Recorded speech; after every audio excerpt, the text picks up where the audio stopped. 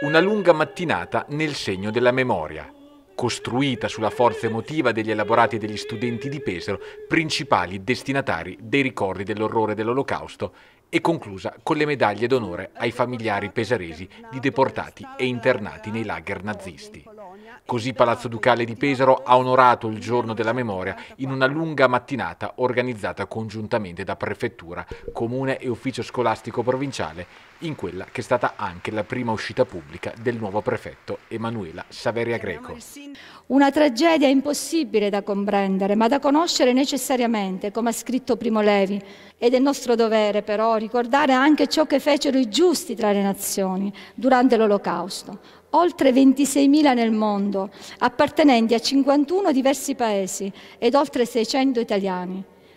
Prefetto che nell'occasione ha consegnato quattro medaglie d'onore ai familiari di Alfredo Guidi di Petriano, che fu deportato e liberato dal lager di Cracovia, di Mario Isotti di Fano, liberato e deportato da Lipsia, del pesarese Ugo Tamburini che morì nel lager tedesco di Gelsenkirchen, del cagliese Antonio Trufelli che si salvò dal campo di concentramento di Buchenwald.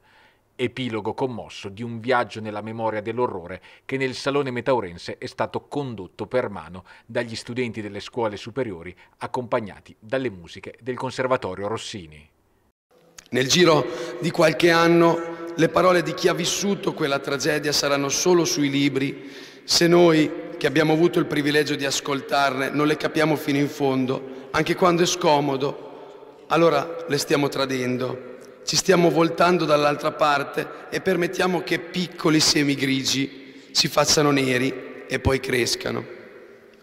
Oggi non è solo un giorno per ricordare, è un giorno per scegliere chi si vuole essere è importante condannare ogni parola d'odio, ogni più flebile cenno di disprezzo, di violenza, di discriminazione nei confronti dell'altro, del diverso, ogni minimo accenno di recrudescenza, di razzismo e antisemitismo.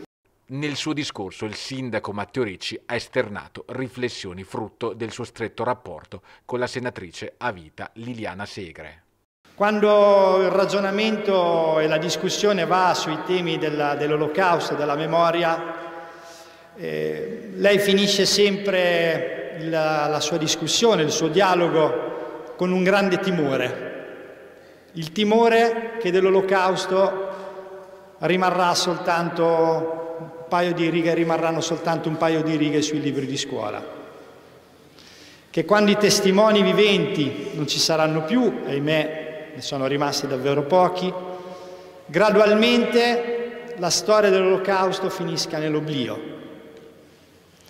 Ed è per questo invece che è stata creata la giornata della memoria, perché ogni, ogni anno il Paese, le istituzioni, le scuole, insieme ai giovani, rinnovano questo sforzo, che è uno sforzo di civiltà, ed è uno sforzo di futuro, quello di ricordare la pagina più buia della storia dell'umanità.